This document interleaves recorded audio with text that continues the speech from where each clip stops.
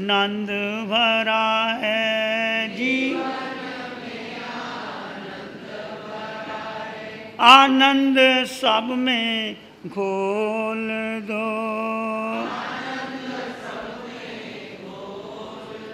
लेना देना आनंद का हो।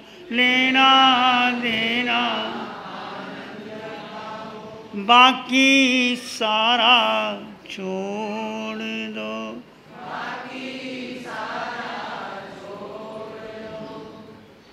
ये मानव का जीवन, अनमोल जीवन, बहुत बहुत पुण्य के बाद,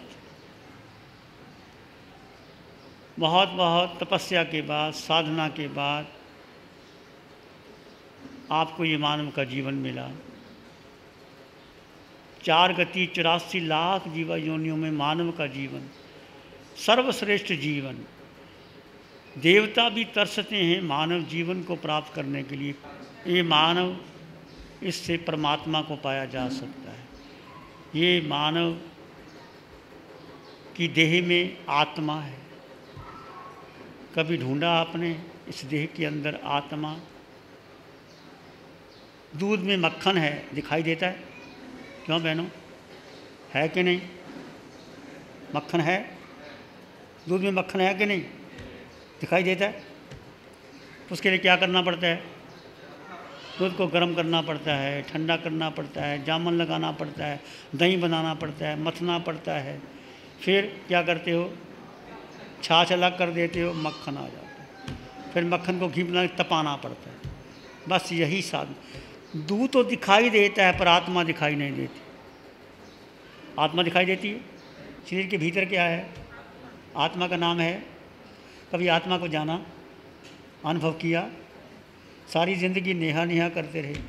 नेहा की जगह सुनंदा रख देते, नाम फिर क्या होता? सुनंदा को जानते।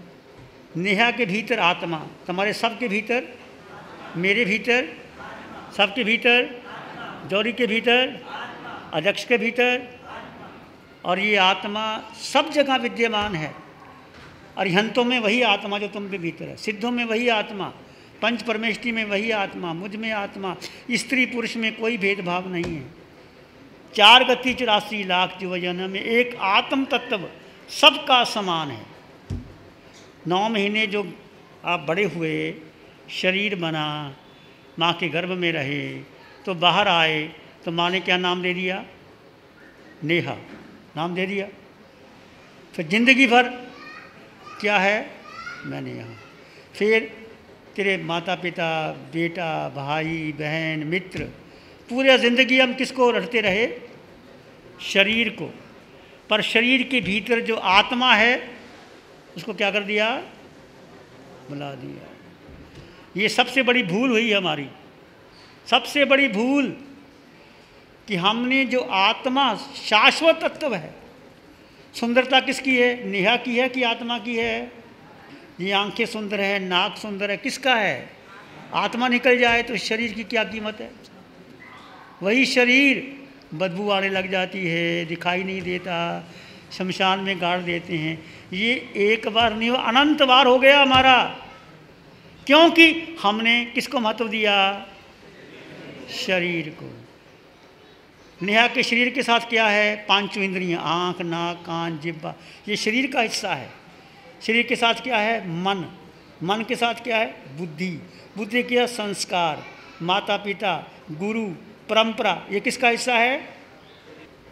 आत्मा साथी है, रहेगी। आप सोते हो, आत्मा सो जाती है। आप चलते हो, आत्मा साथ चलती है। कुछ भी करते हो, आत्मा हमेशा क्या करती है? पर हम किस आत्मा को याद रखते हैं? बेटे को याद करते हैं, पत्नी को याद करते हैं, धन को याद करते हैं, स्कूटर को याद करते हैं, बंगले को याद करते हैं, मकान को याद करते हैं। मकान, क्या कहते हैं? मकान मेरा है कि मैं मकान हूँ? बोलो, क्या कहते हो? मकान मेरा है, मैं मकान हूँ? नहीं ना? कहना चाहिए था, मेरे शरीर का नाम शिव मुनि है। मेरे शरीर का नाम नेहा है। पर मैं नेहा हूँ। मैं शिव मुनि। भूल हुई कि नहीं हुई मैं मकान हूँ। क्या कहेंगे? तुम मकान कैसे हो सकता है? मकान तो ईंट पत्थर का है भाई, तुम्हारा कैसे है? कहते मेरा मकान। मेरा स्कूटर, मेरी गाड़ी, मेरा बंगला, मेरा बेटा, मेरा और मैं। दो चीज़ है कि नहीं? मैं आत्मा और ये मेरा शरीर। जो मेरा मेरा, वो झूठा। सारा झूठा। सत्य क्या है? बोलो बहनों, क्या सत्य है? सत्य है आत्मा। ये महावीर की साधना है। महावीर ने जीव और अजीव का पच्चीस बोल का थोकड़ा याद है आपको? जीव को अजीव कहे तो मिथ्यात्व अजीव को जीव कहे तो मिथ्यात्व समझ में? वही बात। तुमने पढ़ लिया, रट लिया, लिख लिया। इसको रटना नहीं, इसको आत्मसात करना है। जैसे आप परीक्षा देते थे, आप जब परीक्षा दी, जब एग्ज़ाम के दिन आए तो आप खाना खाते थे तो परीक्षा की याद आती थी ना? पेपर की याद आती थी ना? अंग्रेज़ी का पेपर संस्कृत का पेपर केमिस्ट्री का पेपर, सोते थे, परीक्षा की याद आती थी। उठते थे, परीक्षा की याद आती थी। खाते थे, परीक्षा की याद आती किसको याद करते थे? वो परीक्षा। अब ऐसे ही आत्मा को याद करना। क्या करना है? आत्मा को याद करना। खाना कौन बनाता है? समय कौन करता है? कौन करता समय? तप कौन करता है? शरीर करता है। आत्मा समय नहीं करती। आत्मा सोती है, आत्मा चलती है, शरीर चलता है, शरीर समय करता है, आत्मा कुछ नहीं करती। पर आत्मा साथ में है तो तुम समय करोगी। साथ में आत्मा ना हो तो समय करोगी। आत्मा निकल जाए, क्या कीमत? कीमत है शरीर की। जब माँ के गर्भ में थे, छोटे से थे शरीर बड़ा होता होता आत्म, आत्मा निकल जाए तो शरीर की कीमत है।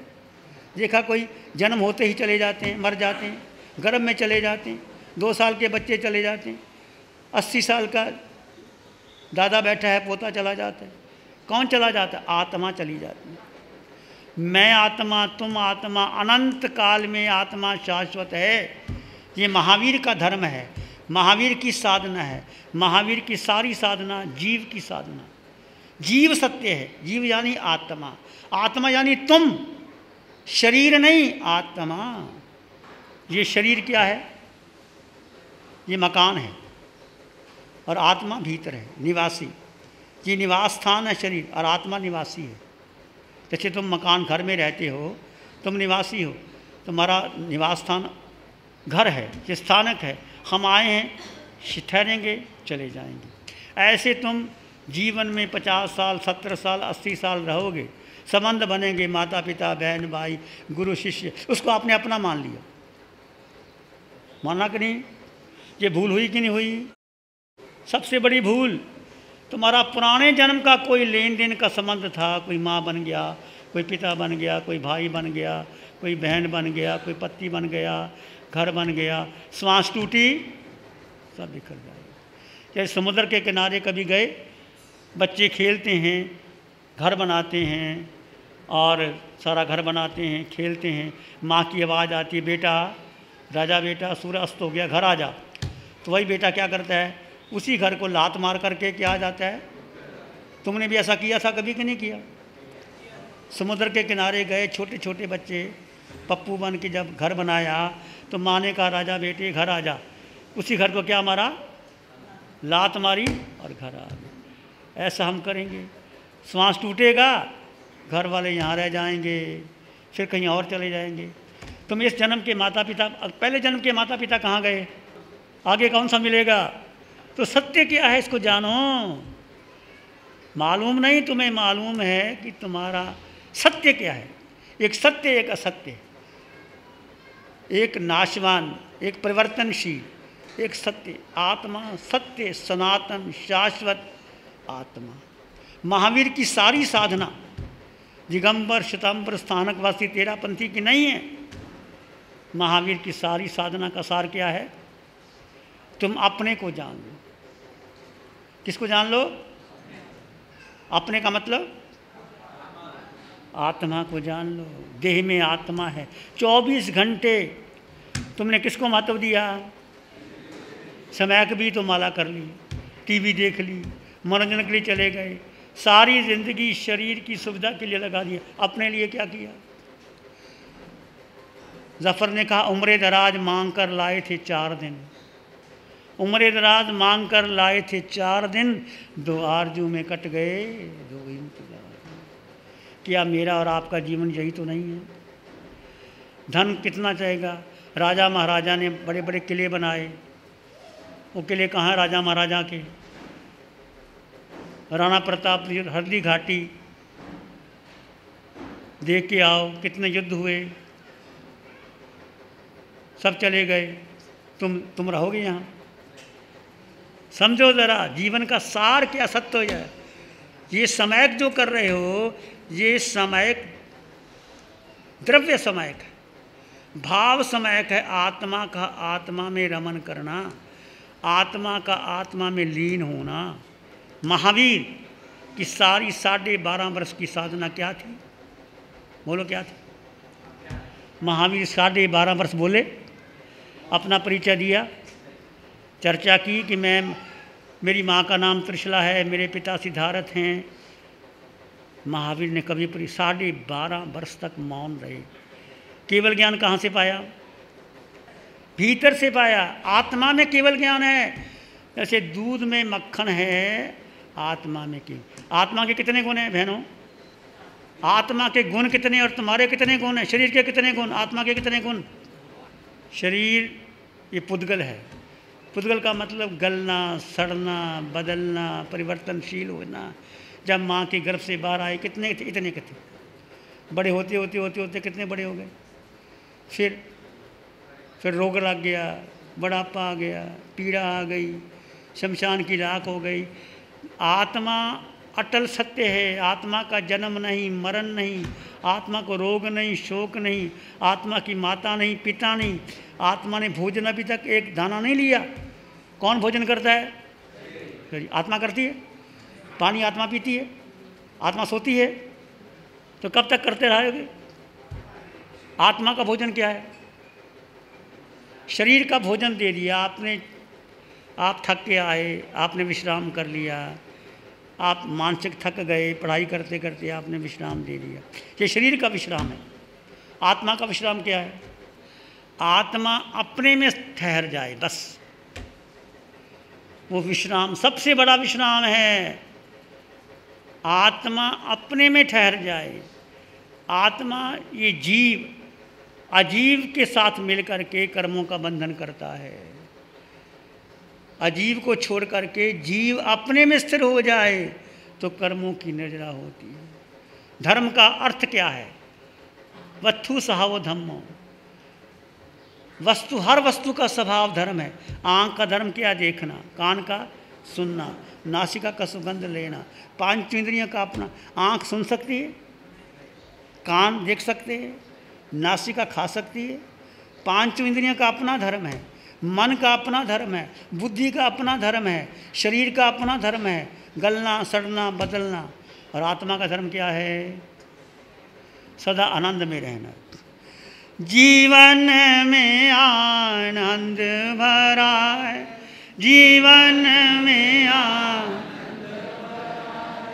आनंद सब में घोल दो, आनंद लेना देना आनंद का हो। लेना देना बाकी सारा बाकी सारा। आत्मा का स्वभाव सदैव आनंद में रहने का है। आत्मा के आठ गुण हैं। समझो ज़रा, तुम्हारे भीतर आत्मा है, आठ गुण हैं। कौन कौन से गुण? याद है किसी को? अपने बारे में नहीं जानते तो किसके बारे में जानोगे? आत्मा में आठ गुण, सबके भीतर आठ गुण हैं। चाहे कोई नरक का नेरिया है, चाहे वनस्पति जगत है, चाहे पानी की बूंद है, चाहे मनुष्य है, चाहे स्त्री है, चाहे देव है, चाहे अरिहंत है, चाहे सिद्ध है। शरीर बदलता है, आत्मा नहीं बदलती। कृष्ण कहते हैं ना नैनम छिंदंती शस्त्राणी। आत्मा अजर अमर है, शस्त्र काट नहीं सकती, अग्नि जला नहीं सकता, पानी गला नहीं सकती, वायु उड़ा, वो आत्मा तुम में है और मेरे में है। आत्मा का ध्यान करो, आत्मा में रमन करो, आत्मा का चिंतन करो, आत्मा के बारे सोचो, वो धर्म है, बाकी सब छोड़ दो। सच्चा धर्म महावीर का धर्म, आत्म धर्म। आत्मा तुम्हारे पास थी, है? बोलो। जाएगी। तुम सोते हो, आत्मा सो जाती है।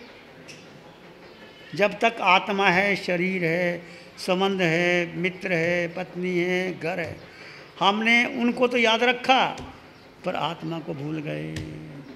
तो याद किसको रखना है? आत्मा में आठ गुण है, अनंत ज्ञान। पहला गुण ज्ञान पुस्तकों में नहीं है ज्ञान भीतर है। महावीर ने कोई पुस्तक पढ़ी थी? कबीर ने कोई पुस्तक पढ़ी थी? कबीर ने कहा, मैंने कलम को छुआ तक नहीं, ज्ञानी हो गए। कबीर, पुस्तक नहीं महावीर ने कोई पुस्तक पढ़ी थी? अनंत ज्ञान भीतर था। अनंत दर्शन, दृष्टि, अनंत सुख। सुख कहाँ था? शक्ति, आत्मा। अ गुरु लघु, आत्मा ना हल्की है, ना भारी है। आत्मा निराकार है। आत्मा जब अखंड शाश्वत सिद्धालय में लीन हो जाती है, क्षायक समुकित आत्मा के आठ गुण तो तुम में भी है और मुझमें भी है। कब प्रकट करोगे? जब महावीर जैसी साधना करोगे। मैं जो आपको बोल रहा हूँ, मैं नहीं बोल रहा। ये महावीर की वाणी है। महावीर ने साढ़े बारह वर्ष तक क्या किया यही आत्मा का ध्यान किया। तो मोहनीय कर्म पर विजय प्राप्त की। हम सब मूणीय कर्म में फंसे पड़े हैं। मेरा परिवार, मेरा बेटा, मेरी पत्नी, मेरा धन, मेरा स्कूटर, मेरे हीरे जवाहरात मेरी सोने का सेट। ये सब जाएगा साथ में बोलो। वो साधना, जो महावीर की साधना, पंचम काल में प्राय लुप्त हो गई। वो हमें अरिहंत परमात्मा सिमंदर स्वामी भगवान की कृपा से मिली है। मैं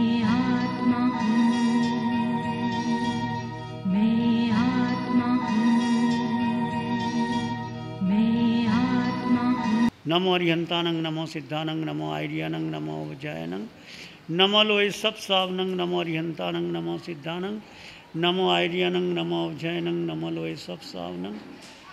चार मंगल, अरहंत मंगल, सिद्ध मंगल, साधु मंगल, धर्म मंगल। चार उत्तम, अरहंत उत्तम, सिद्ध उत्तम, साधु उत्तम, धर्म उत्तम। चार का शरण, अरहंत का शरण, सिद्ध का शरण, साधु का शरण, धर्म का शरण। चारे शारा